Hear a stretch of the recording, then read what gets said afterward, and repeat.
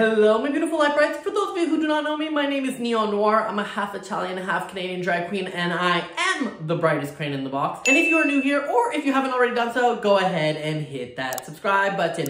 So today we're doing something a little bit different. I found this video that's been suggested to me on my For You page about this Karen who is harassing these drag queens. So I thought if I'm gonna watch it, let's do a little bit of a reaction video and give you my thoughts on the whole situation. So before we get into it, uh, let's give you a little bit of a background. This happened in Hawaii about two weeks ago. Well, I don't know when this video is coming out, so let's just say two weeks ago. And this hotel was filming a promo video and hired some drag queens to be in the promo video where this one guest freaks out. Turns out this is not a regular guest. It turns out to be a member of Moms for Liberty. And so she went a full conservative on these queens. So let's look at the video. Let's find out what she said. Let's uh, give you my opinion on it. And let's see how the queens reacted to this not so great situation. I spent $3,000 to stay here. I'm not having my child see a man pretending to be a woman. This is completely offensive to me. I'm sorry, then you should leave. No, because I paid $3,000 to be here. I'd like to talk to the manager. He's right there. You think it's uh, okay to pretend that you're a woman? We were invited here. You were invited here? Who invited you here? The manager thought it was okay to have men pretending to be women in front of children, even though we know there are boys that are having their penises cut off because they are feminine, because they like wearing makeup, because they like having their hair styled like this, because they like high heels. Your point? Is your, are your breasts real or are they fake? Miss Miss Rose said. No, I don't hate anybody. I'm worried about the boys in my community who think that they could become women because they're feminine. I love when she says, I don't hate anybody, and then goes on to hate on these drag queens. It just is so, like, wrong. Um, it clearly goes to show that this woman is bonkers. And they like wearing makeup and they like wearing drag. There's lots of wearing shorts and a tank top. exactly. No, it's not. So this drag queen goes on to say, you're wearing shorts and a t-shirt, and that's drag. And she's right. So people assume that because I'm wearing all of this, this is drag. And it is. It is a very uh, exaggerated form of drag. But the way you leave the house is the way you present yourself. That is also drag. There's people that want to be a little bit more masculine. There's people that want to be a little bit more feminine. But every piece of clothing that you choose is drag. RuPaul said it best. You're born naked and the rest is drag. When you go to a Taylor Swift concert, you decide to dress one way as opposed to your everyday clothes. You, you do change up your personality depending on the environment. And so do I. I go like this to be on stage, but I don't go like this uh, in my everyday life. And that's exactly what these performers are doing. They're there to perform a duty. They're there to perform. And therefore, that's why they are dressed up like that. It is part of their job. No, I paid three thousand dollars. I'm not leaving the lobby. No, I want to talk to a manager. I want to know why this was allowed at this hotel. Okay, I'm a manager. We can talk about it honestly. If you can just put the phone No. I'm not. This is the lobby. I'm happy to be here. And the thing is, is like, she says, I want to talk to a manager, and the manager is there. But then after that, she's just like, she's not necessarily talking to him. So that's also super strange. Like, if you want to talk to a manager, talk to the manager. Like, girl, what are you doing? I just want everyone to know what hotel we're at. Oh, this is Aloha Mani. I paid three thousand dollars so I can believe in biological reality. I am a real woman. You are fake. So why are you doing this to women? It's so degrading. She goes on to tell this drag queen, I am a real woman, you are not, you're fake. Uh, and the drag queen says, Yeah, I know. And that's the exact response because I or she is not trying to be a woman. We are just being entertainers, and this is entertainment. This is art. This is not trying to make fun of women in any way, shape, and form. If you think this is a woman, then you are joking. This is just somebody wearing makeup, just like you would wear, just like boys wear makeup in movies, just like Cirque du Soleil artists wear makeup on stage. It's the same thing. It is just done in maybe a little bit more effeminate way. Touch me. Okay, I'm sorry for that. Call the police. Call the police. I love that she's like, call the police.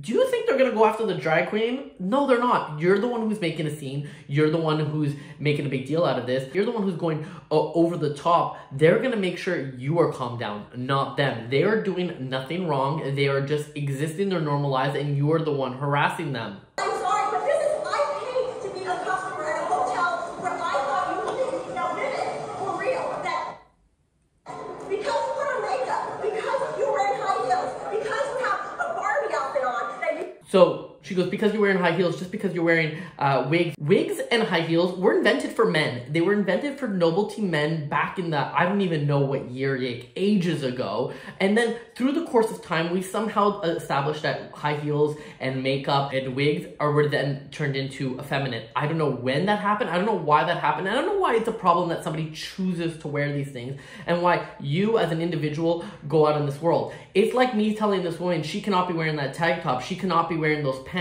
because those are men's clothing when women wear those all the time.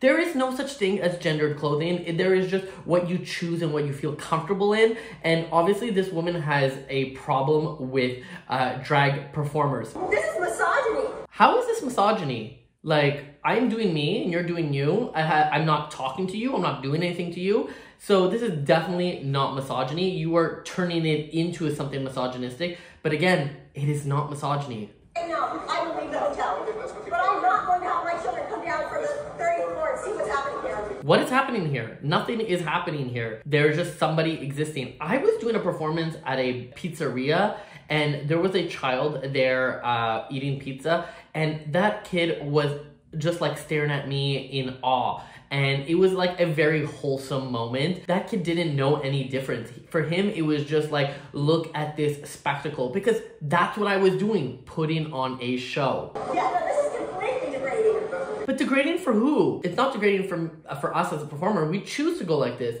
And I don't know why it's degrading to you because it has nothing to do with you. You just happen to be in our vicinity. I don't know what your names are because I'm, I'm going to share this. Are you in the hotel?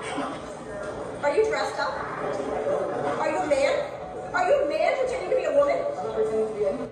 Are you a man pretending to be a woman? No, I am not. I am I'm not pretending to be anything. And I love that. That is the correct response. She is a drag performer who chooses to express herself in a more feminine way, but she is not pretending to be a woman. She's pretending to be a drag performer. If you do not know the difference, that is on you. Now there are definitely women that can do drag. There's definitely men that can do drag, and there's drag kings, drag artists. There's different ways of doing drag, but to put us all together, you don't know that that is what this queen is sort of portraying. What do you think about my son who might think that he can put on makeup and put on fancy clothing and high heels? What do I think about your son who wants to put on makeup, put on uh, fancy clothes and high heels? Let him. Life is too short to be doing anything. Life is too short to not have fun. If you want to go put on a dress and makeup and high heels, you should let him. And if he has a mom like you that's not going to let him, then he's going to rebel even more and he's going to hate you for it. So I do not think that this is a problem. If just being in the vicinity of somebody doing that goes against your morals, then girl, you have a lot bigger problems because just seeing it isn't going to make you want to do it. Personally, I've been watching drag for like 10 years before I decided that I wanted to try it. And even if I wanted to try it, it was like a one off and then I got it a little bit more uh, particular. So, but that's also because I enjoyed it. I have friends that I've put in drag who have done it that one time and then never again. It was a fun moment for them. So again, whether they are in drag or whether they just want to wear high heels, it doesn't matter. Let the person be who they want to be. And have his penis cut off and take estrogen so he can grow fake boobs like those. So I think this woman is very confused because being a drag performer is not being a trans person. You could be a trans person and be a drag performer, and you can be a trans person and not be a drag performer, or you could not be a trans person and be a drag performer. That's how I identify. I am a cis male man who therefore chooses to do drag, but I am not trans. I'm not going to pretend to be trans. I do not want to chop off my penis. I do not want to uh, take estrogen pills because that is not me. This to me is a costume very much like Stefani turns into Lady Gaga. To me, this is a part of my stage persona. So do not mix them up. There's somebody who is trans is instinctively women inside of them and they just don't know how to express themselves outwardly. Um, but that is their everyday life. And then there's being a drag queen, which is a performance based art, uh, which means that we put this on to get on stage. I do not wear like this on everyday life. I do not wear like this to go to anywhere unless it is for a stage or a show, a moment. It is a character I am building. Yeah, this is so degrading. I want to know. I want to know why I paid three thousand dollars today to dress up like women. This is degrading. Oh, you're smiling. I am. Tell me what your name is, sir. Sorry, Mary. Tell me why you think it's okay to put on a clown costume and to do this to young children. When there is no young children around. And even if there was, she is doing nothing wrong. So again, does not matter. My God, this woman. My room number is 32554, Leonard Mike Brown. Take care of that right now. Yeah.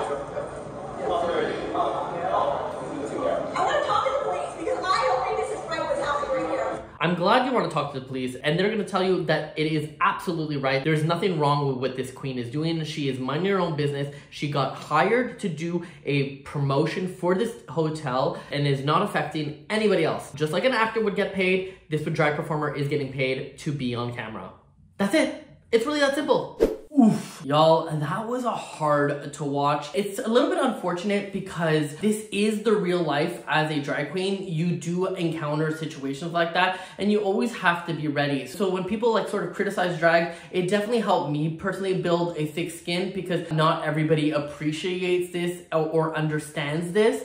And this is clearly a, a, a case of that. They're trying to villainize drag queens and gay people and trans people because it's just not something that they know or want to know. I think it's very close-minded and I hope society doesn't move in that direction. I hope that uh, with more queer representation on television and in bars that people are able to become uh, more of themselves and hopefully some of these other people disappear. I am glad I don't live in the US. I think it's a little bit worse in the US compared to Europe. Uh, but whenever things happen in the US, they somehow find their way to Europe. I would say keep that there. Let me live my life, but at the same time, uh, I'm always cautious, and that's just the reality of the situation. So, on that note, I'd like to know your thoughts. What did you think of this video? Uh, what did you think of my reaction? Did I help you in any way? And more importantly, is there anything else you'd like me to uh, comment or watch? Because I like making these videos. If you like watching them, let me know in the comments below. On that note, my name is Neon Noire at Miss Neon Noire on all social platforms, and I hope to see you in one of my next videos.